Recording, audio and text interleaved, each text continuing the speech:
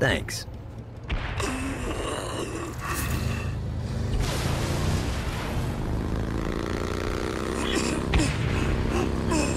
I raided a Centerpol office. and Found information on where the President is being kept.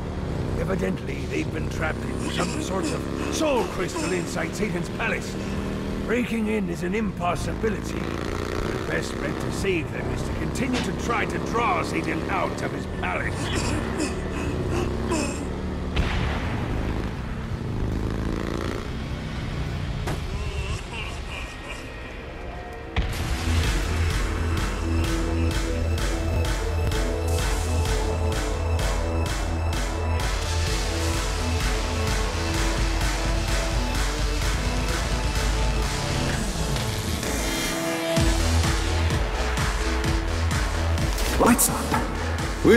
Shakespeare, humanity's greatest playwright, and hell's most diabolical purveyor of entertainment, looks on as a brave mortal on an Orphean quest enters.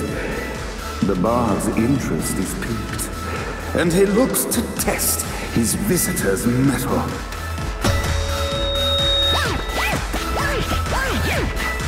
The masked tragedies were used to enemies cowering as they approached. But they realized that they faced a foe with courage and nobility, traits uncommon in the fires of perdition.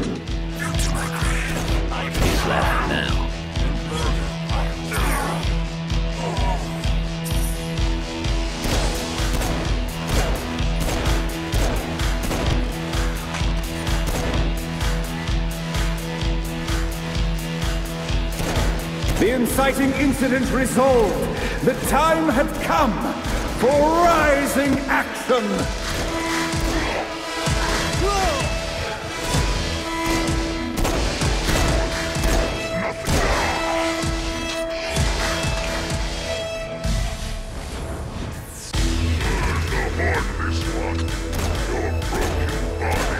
The battle raged on below, and as bullets and blood flew, the bard arched a curious eyebrow. Could this mortal be the exact thing that Shakespeare needed?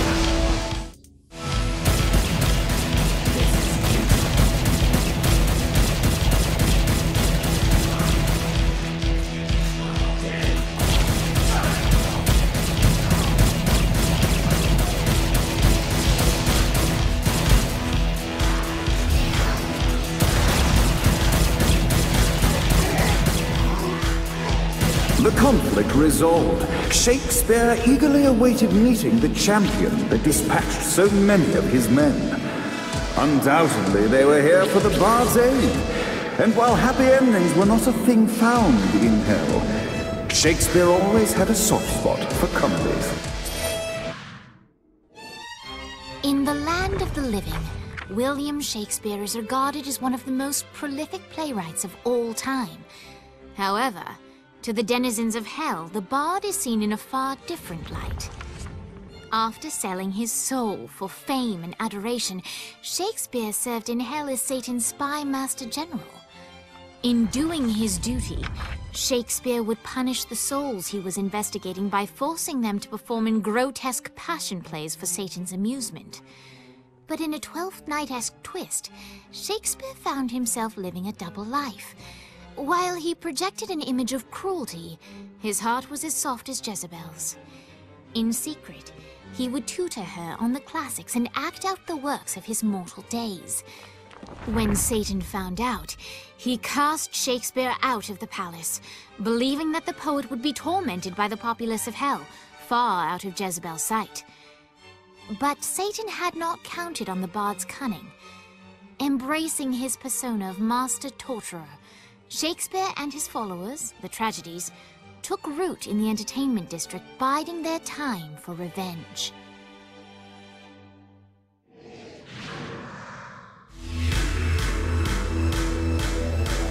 And so Shakespeare called forth the Deus Ex Machina to bestow our protagonist with the arcane power of Force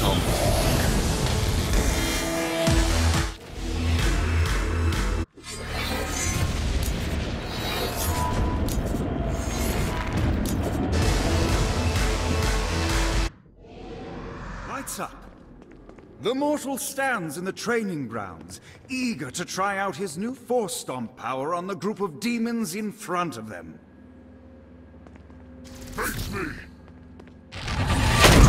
Scene 2, in which our protagonist kills more demons with Act 2, in which our protagonist is greeted by foul imps.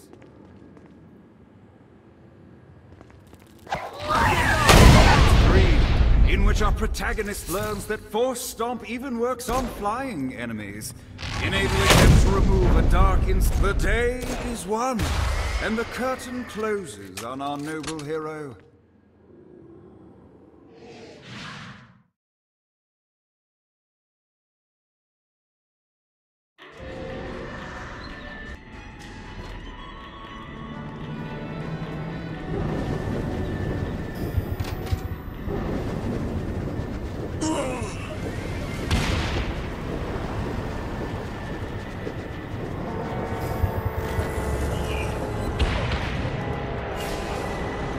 Gotta pick it up.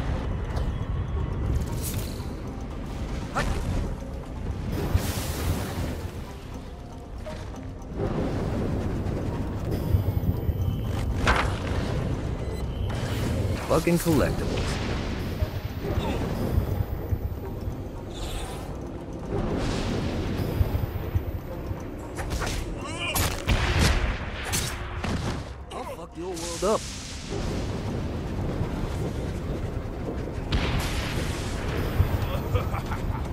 You can thank me later.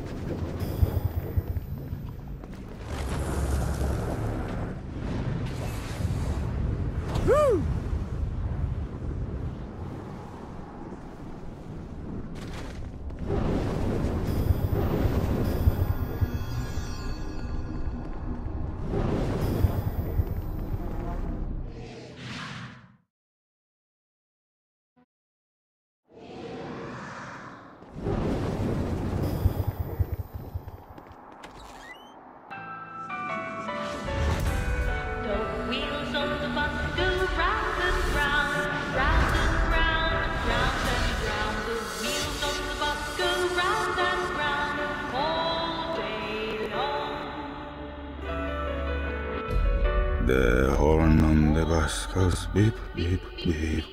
Beep, beep, beep. Beep, beep, beep.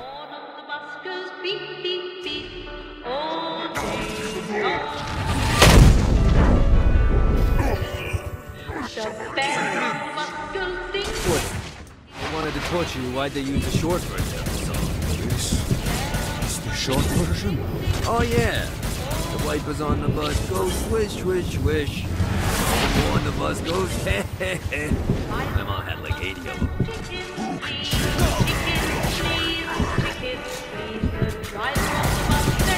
Winning isn't important.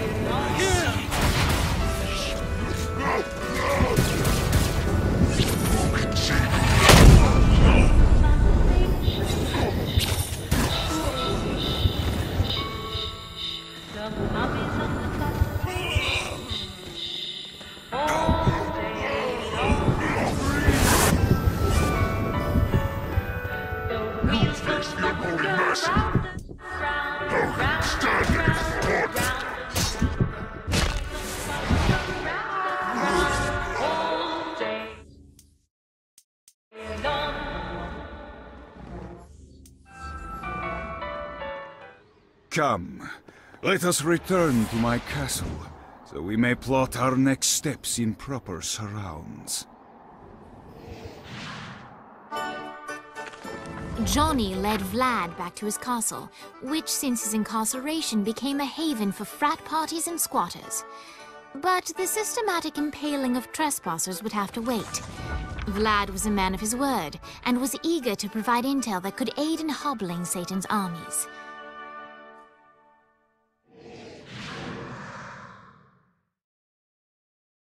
I bestow upon you the Stygian cold fire.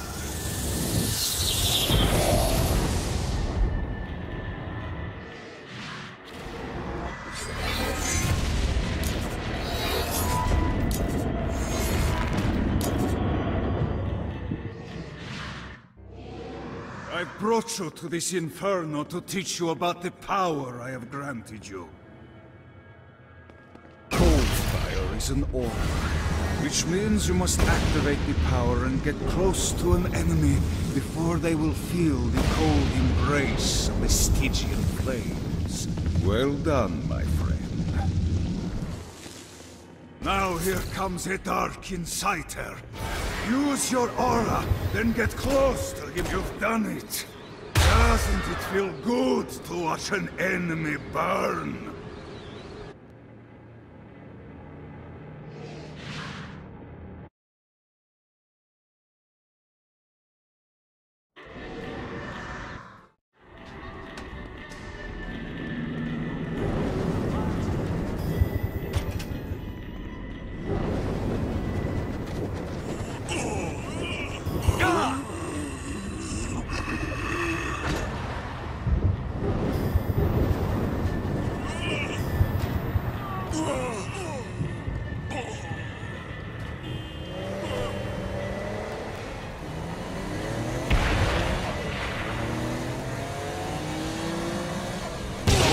For the collection.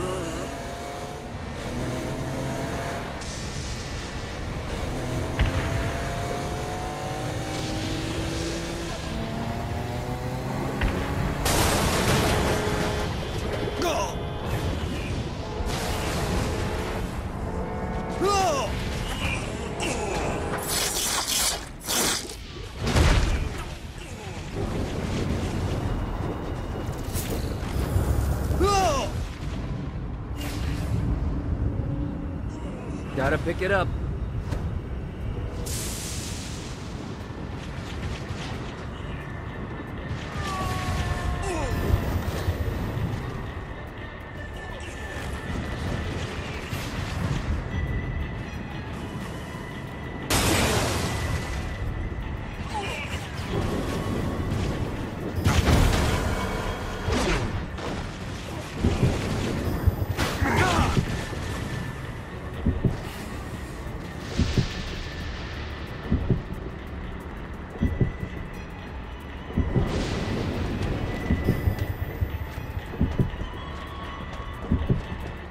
Hate me working for Ultor?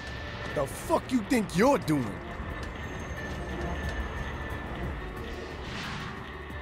We're standing in a parking garage. I don't like it either, but Centerpool isn't giving us many options. I can't believe they tried to force us out. I can't believe you forgot the mimosas. I think we have bigger problems. I don't think you realize how much I love mimosas. I can't help but notice that people are trying to kill you. Yeah, they're really big on that here. What did you do? Is now really a good time? We can wait until we're done shooting people. Well, I'm great at multitasking. Remember when we offered you a deal on that airplane and you responded by killing everyone? Yeah. It's like that, but worse. Yeah. Anyone got a mop?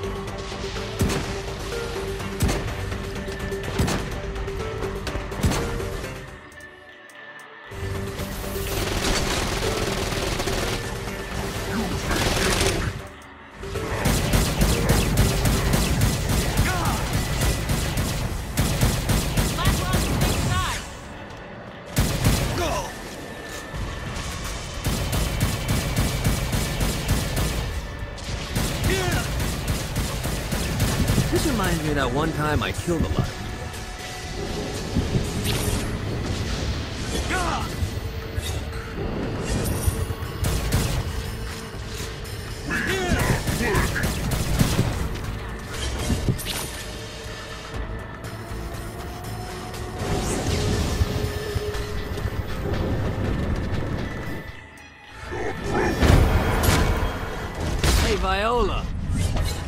should know that Kinzie misses you. Really? That's so sweet. Who's Kinzie? You remember Kinzie. She was that hacker that Matt Miller hated. Isn't she crazy? You know, she really grows on you.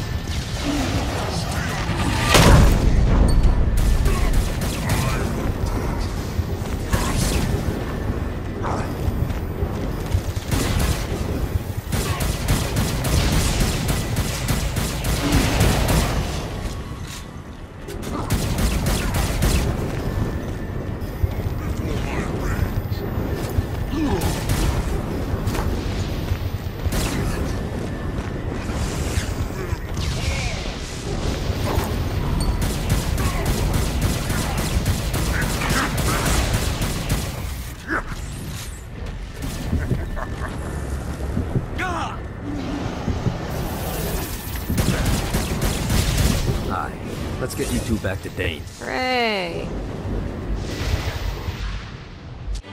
After being reunited in Hell, Kiki and Viola wasted no time in doing what they do best facilitate the running of businesses. However, the De Winter sisters' success did not sit well with other would be power players in Hell. The sisters' operations all came under attack at once, forcing them on the run. Soon, the twins found themselves on the receiving end of an offer they couldn't refuse. After all, it was better to own one fifth of something than to be dead.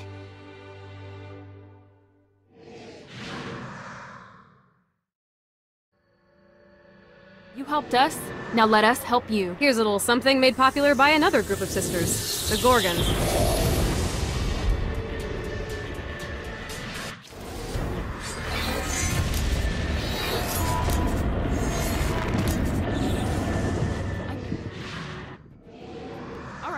Right, Dane's letting us use his Ultor training room to test out your Stone Blast power. So go ahead and blast these demons to turn them to stone. After they're petrified, you can use your pistol to shatter them. Winning isn't important. Nice! Stone Blast is especially useful on flying demons like this one. All right, now let's see you drop a few more.